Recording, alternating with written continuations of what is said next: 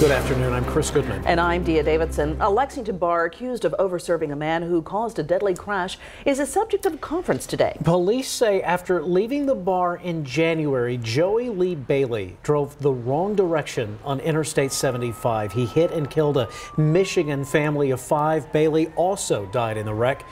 Lee Searcy has more. It's today's LEX 18 big story at noon. A closed door meeting is underway as we speak on the 11th floor of the Government Center, the building you see behind me. And the conference is between Lexington City attorneys, the state ABC office, and Horseshoes Grill and Saloon. Horseshoes is accused of serving Joey Lee Bailey alcohol when he was already under the influence. Police say witnesses saw him driving the wrong way on I 75 the early morning hours of January 6th. Officers say his truck hit an SUV head on causing this fiery crash that killed Bailey and five members of the Abbas family heading back to Michigan from vacation.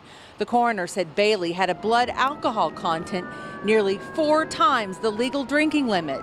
Today's conference will go over possible fines and punishments for horseshoes. If no settlement is reached, horseshoes could request a formal hearing with alcohol beverage control officials at a future date. If so, that meeting would be open to the public and the media.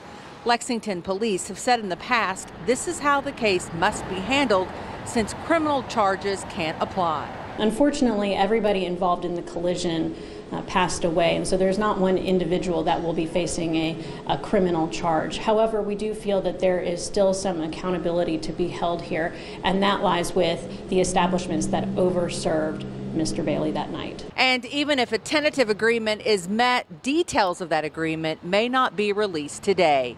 Keep it to LEX18.com for the very latest. Covering the news in Lexington from the LEX18 mobile newsroom, back to you.